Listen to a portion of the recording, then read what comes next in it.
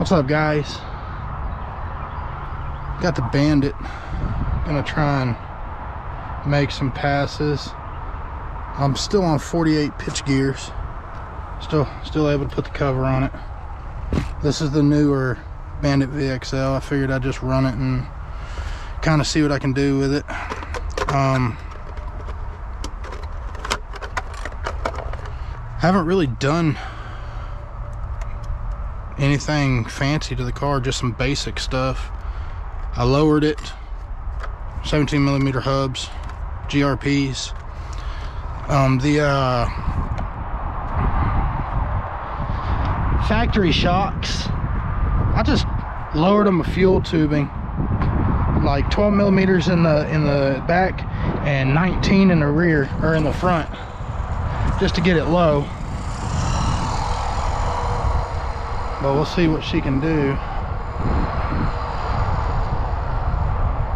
I don't I can't even remember what my last run was, but I know it was less than 70, so I'm gonna go ahead and try and shoot it up into the 70s and then we'll uh, start changing the mod 1 gearing. Really start sending it. Uh, those of you that follow want to know the setup and all that just go in the description. I post all the motor ESC gear, I, all that stuff. But VXL Bandit on 3S.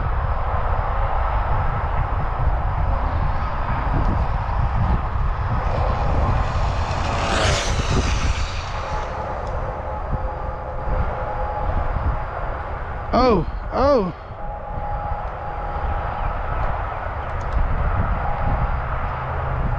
Spun out down there. I'm not used to the two-wheel drive stuff.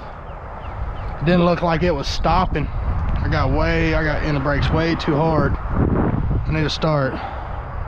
It's been a while. It's been a while. I haven't run a Rustler or anything like that since my 85 mile an hour run. Like I haven't done anything really two-wheel drive since then.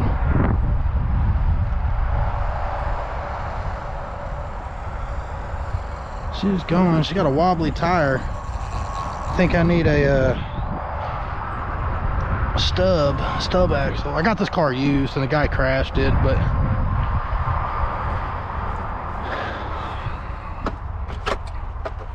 see what it done. Well, that's not bad. There you go. That's 75 mile an hour.